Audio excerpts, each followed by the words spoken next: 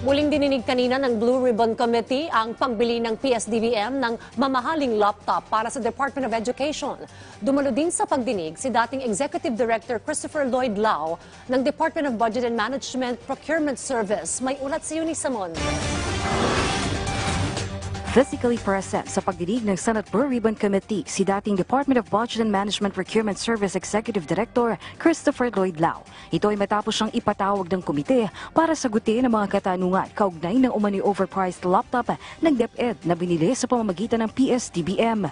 Nitong nakaraang pagdinig kasi, lumalabas na walang manual o basihan ng PSDBM sa pagbili ng mga supplies. Dito tinanong si Lau kung pirma niya ba ang nasa Memorandum of Agreement sa pagitan ng PSDBM at DepEd. Please go over the said uh, photocopied documents. Do you confirm? that- Yeah, because I've read this document. May initials niya aniya ito sa mga pahina kaya't alam niya na pinirmahan niya ito. Kaya naman ipinatawag rin ng komite ang abogado na nag-notarize ng Memorandum of Agreement noong February 16, 2021. Pero lumalabas na A certain attorney Crisologo from Quezon City who notarized the memorandum of agreement. But, but I was informed last night that attorney Crisologo cannot be present here today because attorney Crisologo is already dead.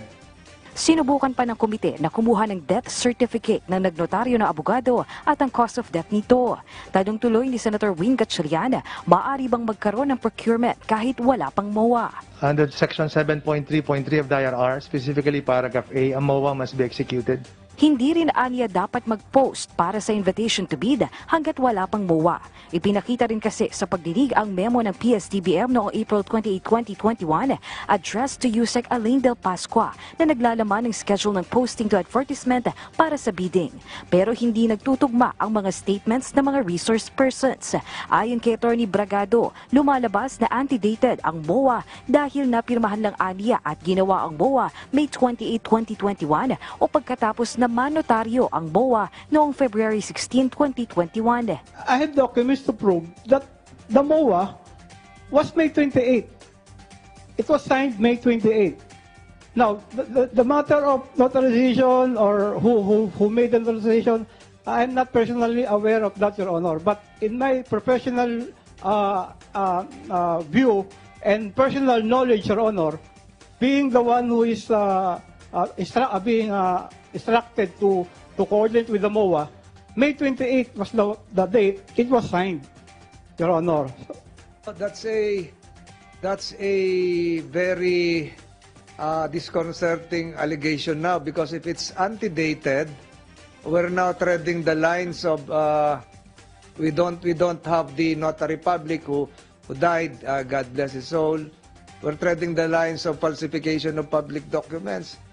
So that's a different matter uh, whether it is uh, doc, uh, antedated and if the effects of a of an antedated uh, memorandum of agreement Tanong ni Senator Wing Gatchalian, sino ang nagpanotaryo ng MOA ng may ibang petsa?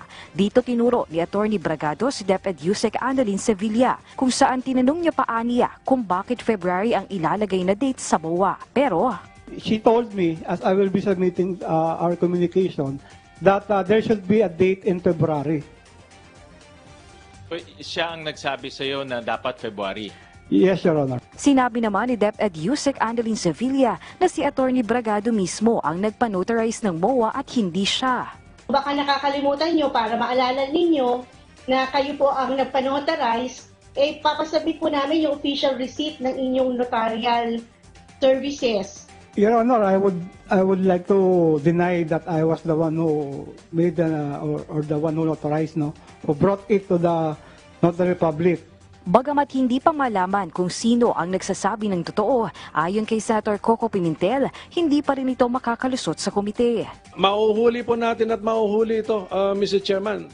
Especially if we are given, uh, you know, uh, the correct uh, documents that we are requesting. Inabot ng higit walong oras ang pagdinig, pero ipagpapatuloy pa rin hanggang sa mga susunod na linggo. Hawak na ng komite ang recipients ng mga pinagbigyan ng laptop. Eunice Monte para sa Bayan.